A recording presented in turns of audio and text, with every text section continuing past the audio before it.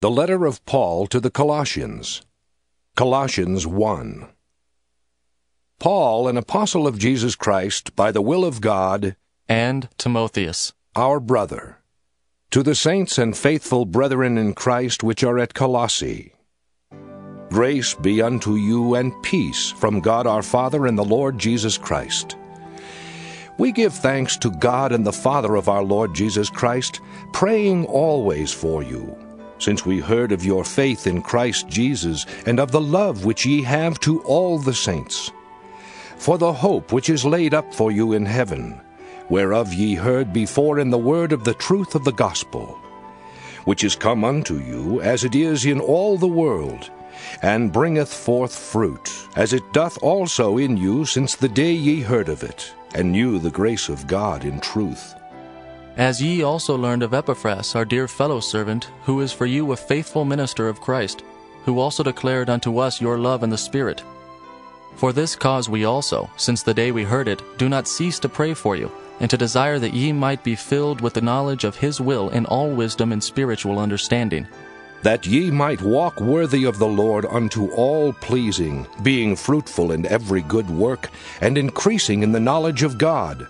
strengthened with all might, according to his glorious power, unto all patience and long suffering with joyfulness, giving thanks unto the Father, which hath made us meet to be partakers of the inheritance of the saints in light. Who hath delivered us from the power of darkness, and hath translated us into the kingdom of his dear Son, in whom we have redemption through his blood, even the forgiveness of sins.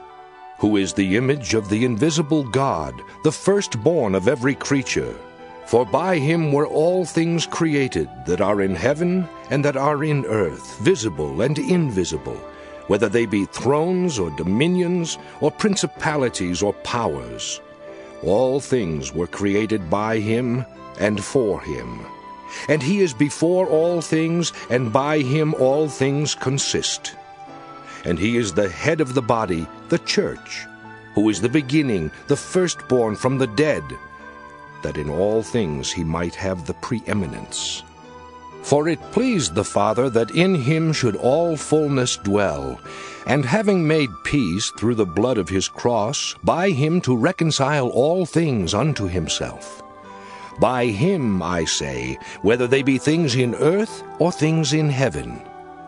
And you that were sometime alienated and enemies in your mind by wicked works, yet now hath he reconciled in the body of his flesh through death, to present you holy and unblameable and unreprovable in his sight, if ye continue in the faith grounded and settled, and be not moved away from the hope of the gospel which ye have heard, and which was preached to every creature which is under heaven, whereof I, Paul, am made a minister, who now rejoice in my sufferings for you, and fill up that which is behind of the afflictions of Christ in my flesh for his body's sake, which is the church. Whereof I am made a minister, according to the dispensation of God which is given to me for you, to fulfill the word of God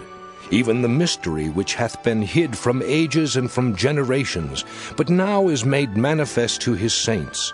to whom God would make known what is the riches of the glory of this mystery among the Gentiles, which is Christ in you, the hope of glory. Whom we preach, warning every man and teaching every man in all wisdom, that we may present every man perfect in Christ Jesus whereunto I also labor, striving according to his working, which worketh in me mightily.